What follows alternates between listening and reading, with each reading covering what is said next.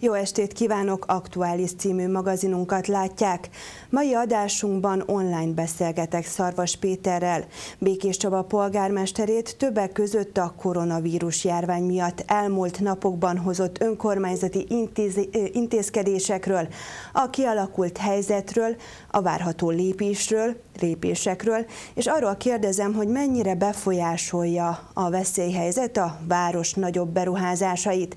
Üdvözlöm, polgármester úr, köszönöm szépen, hogy elfogadta a meghívásunkat. Jó napot kívánok, köszönöm a meghívást.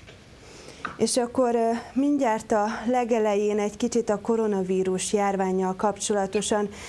A 7.tv is forgatott ezzel kapcsolatban, illetve meg is kerestük Önt, hogy hogyan tudják ellátni a 70 év feletti időseket, ugye nekik kell mindenképpen segítséget nyújtaniuk. Mennyiben változott az ellátás az elmúlt hétben, akár mondjuk számok tekintetében? Igen, a jogszabály a polgármester feladatkörébe tette a 70 év felettiek ellátását. Tudni kell azt, hogy azon 70 év felettiek ellátását kell megszervezni, akik ezt maguk kérik, bejelentik, és azt is vállalják, hogy lényegében önkéntes karanténban tartózkodnak, tehát nem hagyják el a lakóhelyüket. 108 ilyen személy van most Békés Csabán, akik számára igény esetén eljuttatjuk a melegételt, bevásárlunk helyettük, illetve gyógyszert is beszerzünk helyettük, és eljuttatjuk lakóhelyükre természetesen az élelmiszert és a gyógyszereket. A gyógyszereket, élelmiszert meg a melegételt ki kell fizetni, de a kiszállításnak természetesen nincs költsége, ezt a költséget az önkormányzat vállalja. Nagyon érdekes és fontos kérdés lehet az is, hogy gyakorlatilag az idősek otthonákban és a szociális intézményekben most már hetek óta látogatási tilalom van, ami azt jelenti, hogy a hozzátartozók, a közeli hozzátartozók sem mehetnek be meglátogatni az időseket, és több olyan intézmény van, ami ugye önkormányzati, mit tudnak tenni az ottani szakemberek, hogyan tudják őket segíteni abban, hogy azért tudják tartani a kapcsolatot a szeretteikkel? Igen, a két Békés Csabai önkormányzati bentlakásos idősek otthonában most kb. 260-an élnek, és valóban elég nehéz a a helyzet eh, lélektanilag, hiszen most már negyedik hete látogatási és kiállási tilalom van ebben a két intézményben. Nyugtalanság minden nap eh, tetten érhető az intézményekben, hiszen eh, egy olyan korosztályról van szó, akik számára minden lelki támogatás minden esetben jól jön. Most ezekben a nehéz időkben a otthonokban tartózkodó munkavállalók látják el lényegében a, a ö, pszichológiai feladatokat is, a nyugtatgatást, a még fokozottabb kedveskedést, a megnyugtató szavakat ők mondják az ellátottak felé, és természetesen igyekeznek a lelket tartani bennük, igyekeznek őket bíztatni a jövőt tekintve, de összességében azért az otthonokban élők megértették azt, hogy ők a legveszélyeztetettebbek, és az önkormányzatnak mindent meg kell tenni azért, hogy az őket ért veszélyeket minimalizáljuk, ezért kevesebb látogatásra van lehetőség, és őket sem tudjuk ugye kiengedni a közterületekre sem, meg haza sem természetesen. Úgyhogy ők a, a munkavállalókkal találkoznak, eh, illetve az orvossal, pszichológussal, aki bemegy most fokozottabb óraszámban az otthonokba, és eh, a lelki támaszt is nyújtja az ott élőknek. Tehát nyugalom van az otthonokban, de azért nagyon várják a, az idősek, a szépkorúak, hogy mikor láthatják újra a szeretteiket. Az elmúlt napokban jelentősen megváltozott az élet az országban, így Békés Csabán is, hiszen szombat óta kiárási korlátozás van. Emellett nagyon sok önkormányzat, így a önkormányzat is számos rendeletet hoz az emberek védelme érdekében. Melyek azok a legfontosabb rendeletek, amelyeket megemlítene az elmúlt napokból?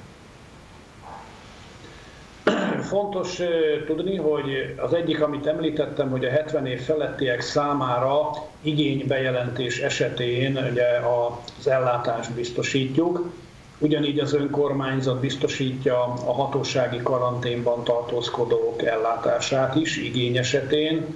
23-an vannak jelenleg hatósági karanténban. Ez ugye azt jelenti, hogy itt csak a gyanú merült még fel a koronavírusra, de a fertőzöttség megállapítás abszolút nem történt meg. Tehát mind a 23 esetben csak a, a gyanújelek fordultak elő, semmilyen megerősítettség jelenleg nincsen. Az óvodáinkat és a bölcsödéinket be kellett zárni két és fél héttel ezelőtt, de ügyeleti rendszer működik, tehát mindenki, minden család, ha szeretné a gyermekét az óvodába elvinni, megszokott rendben az óvodáink nyitva vannak, illetve jelenleg csak három, hiszen az ügyelethez elég egyelőre három óvodai nyitvatartás. 20 gyereknél sincs több a, a három óvodában, Kölcsei utcán, a Penza lakótelepi óviban, illetve a Napsugár óvodában, a Lencsési lakótelepen tudnak a gyermekek naponta bent lenni, és megkapják természetesen a gondoskodó ellátást és az étkezést is, 10 órai ebédet és a, a délutáni uzsonnát. Bölcsödéink közül a belvárosi bölcsöde van nyitva, ott fogadják a legkisebbeket a, a gondozók, a kisgyermek gondozók. Az óvodai, soron következő óvodai regisztrációra pedig a személyes beiratkozás helyett online regisztrációs lehetőséget biztosított az önkormányzat. Április 5-éig lehet a gyermekeket regisztráltatni ezen az online felületen. Kérem nem unasszák el a kedves szülők, ha szeretnék, hogy ősztől óvodába járjon a gyermek. Nagyon gyorsan az önkormányzat bezárta a strandot, az Árpádfürdőt, nagyon gyorsan bezártuk a városi sportcsarnokot, a Kórház utcai stadiont, a sportlétesítményeket, nem lehet az iskolai tornatermeket sem eh, használni, és a piac vásárcsarnok épületében korlátozó intézkedéseket eh, vezettünk be. 75 látogatónál több sosem lehet bent eh, a vásárcsarnokban, sem 9 óra előtt, sem 9 és 12 óra között, illetve 12 óra után. Természetesen azt a jogszabályt betartatjuk a vásárcsarnokban, és köszönöm a látogatók türelmét eh, ez iránt. Eh, tehát betartjuk azt, hogy 9 és 12 között csak a 65 év felettiek vásárolhatnak a vásárcsarnokon és az egész eh, piac területén. Hát nem, nem volt egyszerű megnyugtatni a látogatókat a szombati nagyobb forgalmú piaci napon, de végül is a nagyon nagy többség fegyelmezetten, türelemmel elfogadta, hogy most ez a korlátozás már életbe lépett, és az ő érdekükben is, és a szépkorúak érdekében ezt Békés Csabán is be kell tartani. Fontos még megemlítenem, hogy a személyes kontaktusok számának csökkentése érdekében jelentősen szűkítettük az autóbusz menetrendet. A vasárnapi menetrend szerint járnak a buszok,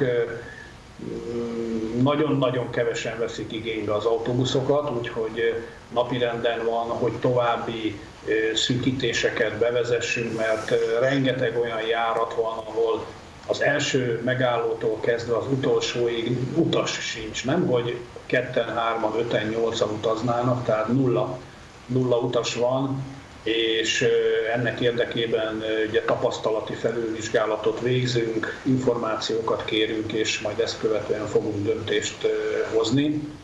Ugye ez is azt gondolom az autóbusz járatok számának csökkentése és a biztonsági intézkedéseket gyarapítja, és fontos ezt meghozni. Emellett az önkormányzat az országos kommunikáció mellett nagy hangsúlyt fektet a megelőzésre, a szemléletformálásra, a tájékoztatásra, az Intel meg sűrű eljuttatására, online felületeken, de nyomtatott formában is, a, Csabai mérlegben, hirdetőfelületeken kérjük a csabaiakat a szabályok betartására, elsősorban a higiéniai szabályok betartására, másrészt pedig a, a személyes érintkezések számának csökkentésére vonatkozó szabályra. Nagyon fontos, hiszen most már jól látszik a, az összefüggés a között, hogy Magyarországon az eddigi fejlemények nem annyira, hogy is mondjam, drámaiak, mint más európai országban, és ez összefüggésben van azzal, hogy jóval fegyelmezettebb és hamarabb lett fegyelmezettebb a magyar lakosság, a Csabait is beleértve, mint más európai országban. Ez egy nagyon-nagyon fontos tapasztalás, és ezt tartanunk kell a jövőben is. Mielőtt tovább lépnénk ezekkel a változtatásokkal kapcsolatosan, kérem térjünk vissza egy kicsit az óvodai beiratkozás rendjének a változásáról. Említette, hogy online regisztráció szükséges. Ez pontosan mit jelent, miért van erre szükség, illetve helyettesíti-e majd a beiratkozást? Igen, beiratkozás az egy második lépés, most egy előzetes regisztrációról van szó.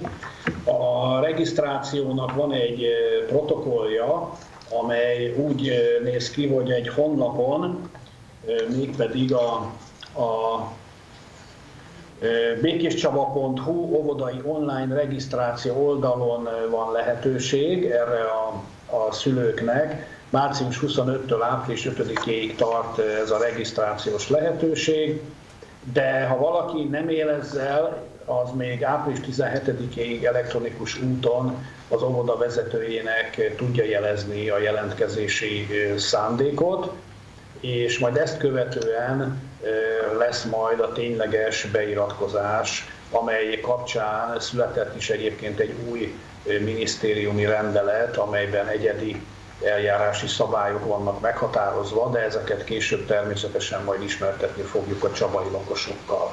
Tehát most egyelőre a feladat a csabai lakosok számára, hogy a békéscsaba.hu óvodai online regisztráció oldalt keressék, és ott tegyék meg a bejelentést elektronikus formában. Ugyancsak az előbb említett témához kapcsolódik, ugye a rendelkezésekhez az, hogy nyilván az országos határozatokkal egyensúlyban a piac, illetve a vásárcsarnok nyitvatartása és annak használatba vételi módja is megváltozott. Miért van erre pontosan szükség? Ugye nem győzzük hangsúlyozni, hogy fontos, hogy megvédjék az embereket, miért van arra szükség, hogy korlátozzák azok számát, akik bent lehetnek, illetve azt, hogy mikor ki mehet be.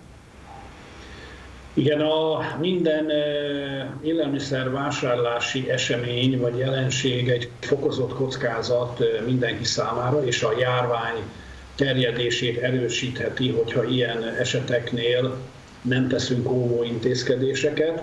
Az óvó intézkedéseket egyrészt megtette a kormány, amely előírt az élelmiszerboltokra és más üzletekre is nagyon komoly szigorító korlátozásokat de a védő intézkedések egy részét azt az önkormányzat saját hatáskörben tette meg, mert az, hogy például 75 főnél több a vásárcsarnokban vásárlóként nem lehet bent, ezt az önkormányzat hozta meg a csabai lakosok érdeke védelmében és az egészségük védelme érdekében.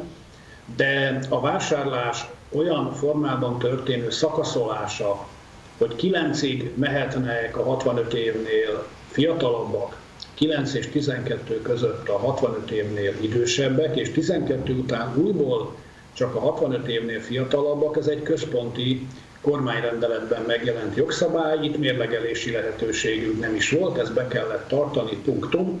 Egy nap alatt intézkedtünk, betartottuk, és természetesen figyeljük is, mérjük a vásárcsarnokban, hogy hányan vannak bent egy időben a vásárcsarnok épületében.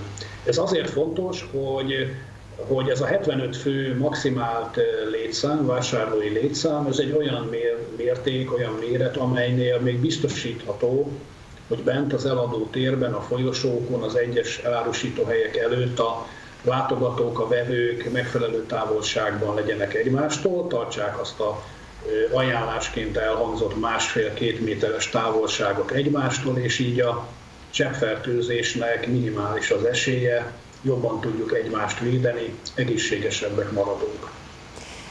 Azt meg tudja oldani az önkormányzat adott esetben, hogy a piac, illetve a vásárcsarnok előtt várakozók is be tudják tartani a megfelelő távolságot? Tehát gondoltok arra, hogy kordonokkal, szallagokkal vagy leragasztott matricákkal jelezzék a megfelelő távolságtartást?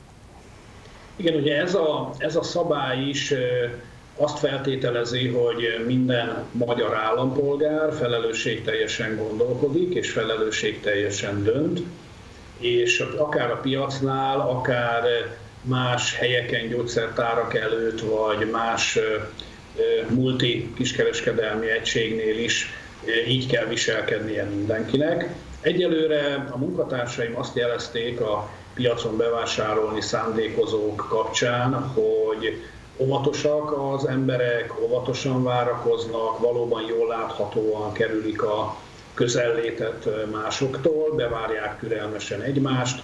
Ha éppen vannak bent 75-en, akkor ugye csak úgy lehet bemenni valakinek, hogyha valaki kijön. És ilyen eset is főleg szombaton előfordult, de lesz is ilyen, hiszen ez egy nagyon forgalmas piaci bevásárlási nap. De a két főbejáratnál, a vásárcsarnoknál az őrző személyzet ott van, és ők figyelik a folyamatokat. Arra kértük őket, hogy udvarias viselkedéssel folyamatosan hívják fel a várakozók figyelmét arra, hogy tartsák be a másfél-két métert. Ha a fegyelem lazulna, és azt tapasztalnánk, hogy nagyobb létszámban vannak várakozók, nem tartják be a fontos szabályt, akkor arra is készek vagyunk, hogy akár egy nap alatt kordont állítsunk, kijelöljünk várakozó posztokat, de egyelőre erre, és pont a, a csabaiak fegyelmezettsége miatt nem volt szükség, de ha kell, megtesszük ezt is. Emellett ugye bejelentettek már több gazdaságsegítő rendelkezést országos szinten, Orbán Viktor is közzétett ilyeneket.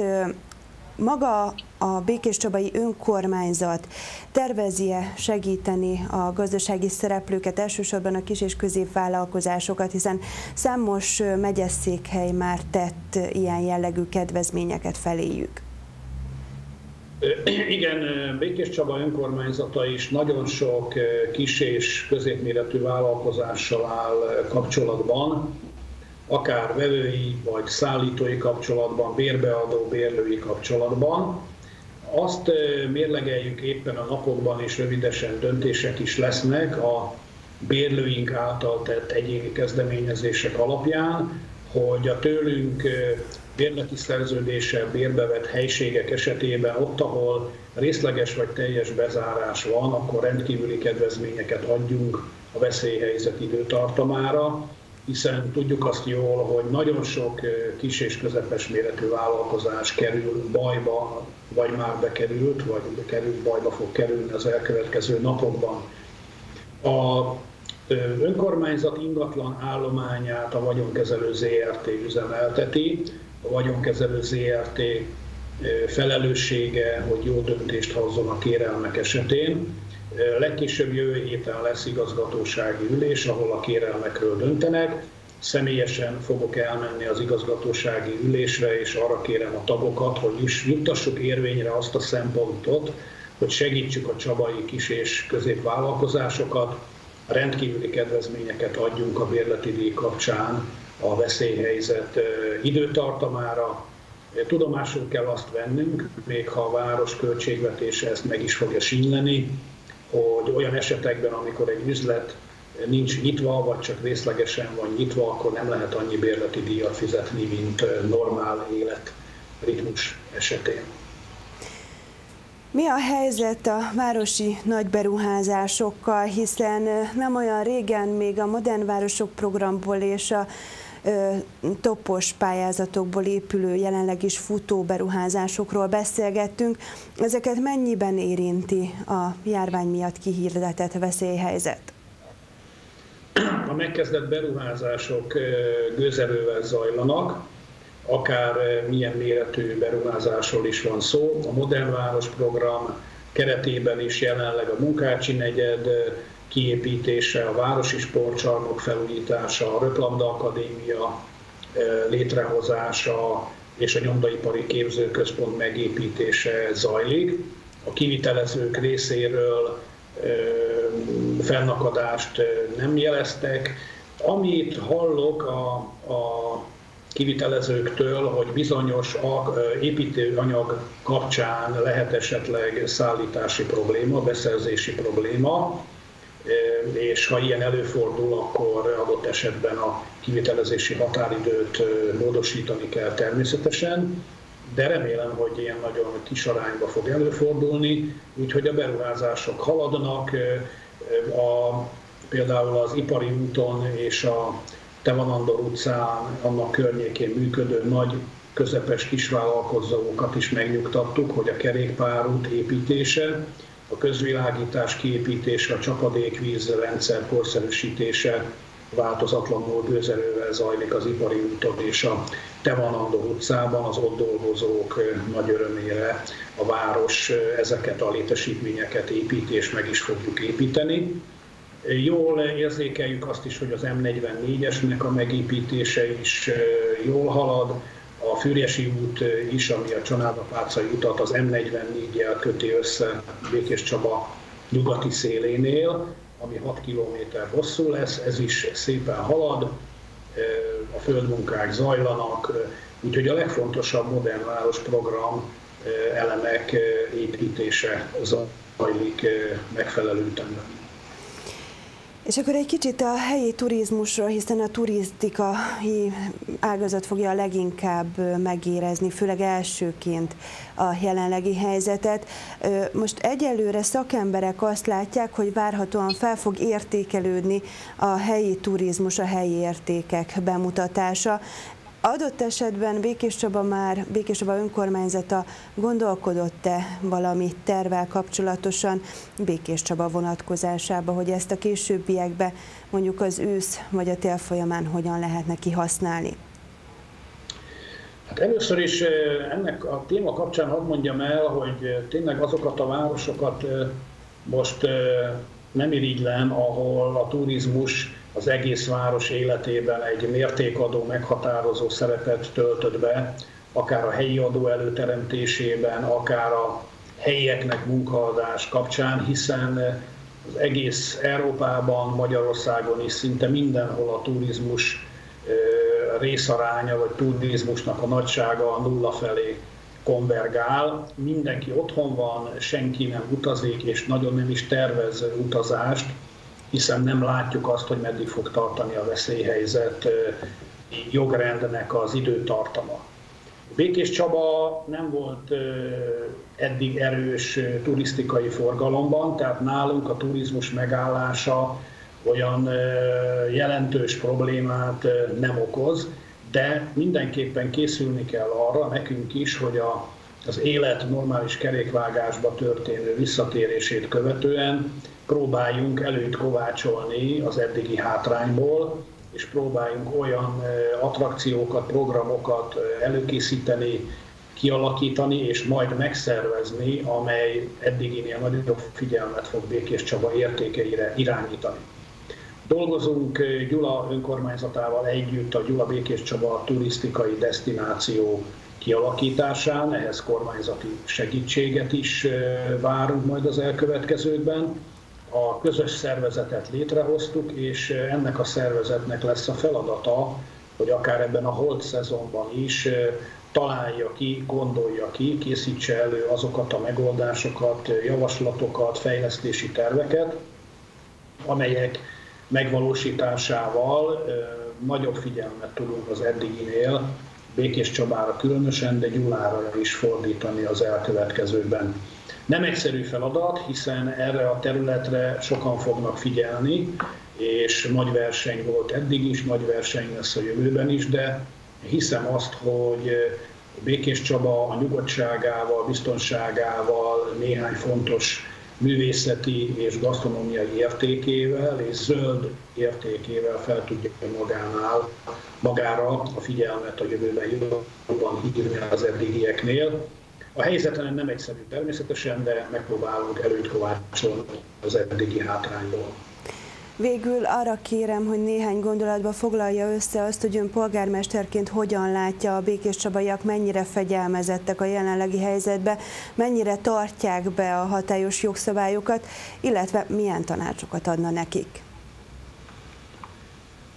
Meg kell mondjam, hogy amikor először láttam már, hogy a koronavírusnak hatása lesz Magyarországon, Békés Csabán is, gondolkoztam azon, hogy vajon a magyarok, közt a csabaiak hogy fognak reagálni az új élethelyzetre, és azt gondoltam, az első gondolatom az volt, hogy ebben a rohanó, kapkodó, másra kevésbé odafigyelő világban lesz-e elég fegyelmezettség, öntudatosság, erkölcsi kiállás a csabaiakban, a magyarságban, hogy csillapítsuk együtt közös erővel, közös segítségnyújtással a járvány erejét.